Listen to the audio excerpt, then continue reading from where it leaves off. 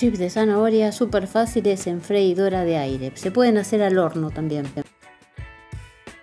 Hervimos zanahorias en trozos y las escurrimos muy bien.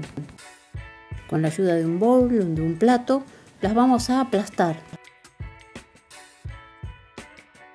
Cuando ya están todas aplastadas, lo que vamos a hacer es elegir la fuente en donde las vamos a colocar.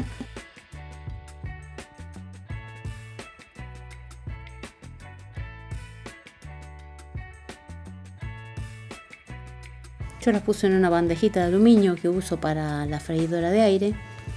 Solamente queda condimentarlas, ponerles un poquito de aceite y llevarlas a donde las vamos a cocinar.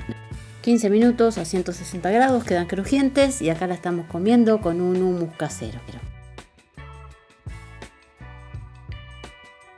Vos la podés acompañar con lo que quieras. Mira qué lindas quedan, deliciosas.